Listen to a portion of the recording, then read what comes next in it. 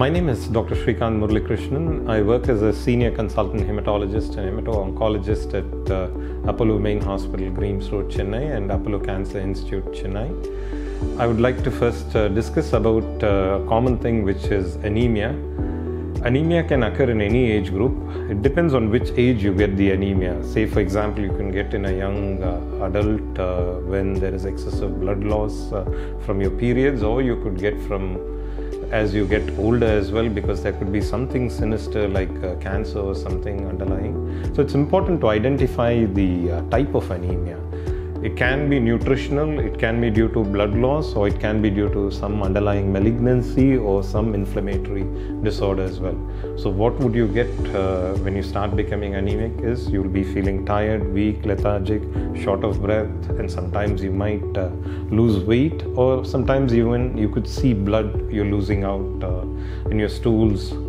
So, I think it's important to identify uh, that anemia could be something serious, you need to uh, consult your doctor.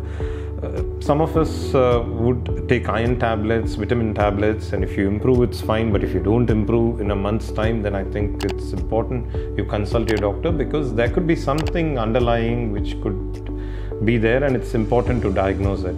So, how do you prevent anemia? I think the most important thing is diet. I think your diet should be adequate. We say you have to take adequate amounts of uh, vitamins and minerals. The things which have uh, good iron content are, we say, all dark green leafy vegetables, dates, figs, pomegranate, and also red meat as well, liver as well, which are a good source of iron. And again for b12 you have all dark green leafy vegetables as well.